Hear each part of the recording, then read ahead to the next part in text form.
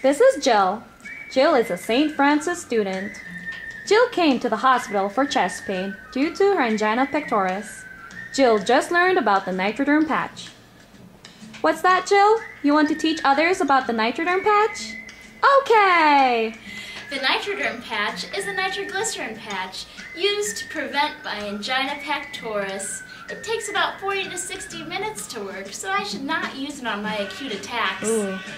Nitroderm can last all day to make me pain-free. The nurse also told me that. Nitroderm increases blood flow to the heart by dilating those coronary arteries. It increases cardiac output and decreases your blood pressure, which helps stop the pain. Awesome! Jill here will show you how to apply a patch. This is the nitroderm patch. It should be applied to a non-hairy, clean part of the skin. It should not be applied to the lower extremities or over the heart. Okay. I should take the patch off at night. Why and for how long? Taking it off at night prevents tolerance. I should take it off for about 10 to 12 hours. What else can you do?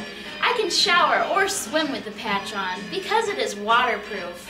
Wow. Even if I'm feeling better, I should not stop using the nitroglycerin patch. Or stop it abruptly. And also, to prevent orthostatic hypotension, please change your positions slowly. Avoid any alcohol. And talk to your physician if you are taking any other medications. Also, talk to your doctor if you are pregnant.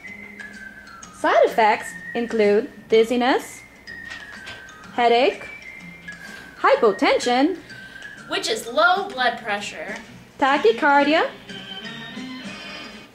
and contact dermatitis. Contact your physician if blurred vision or dry mouth occur. These are serious side effects. And if you are like Jill or know someone with angina pectoris, please visit the website www.medsafe.gov and search Nitroderm.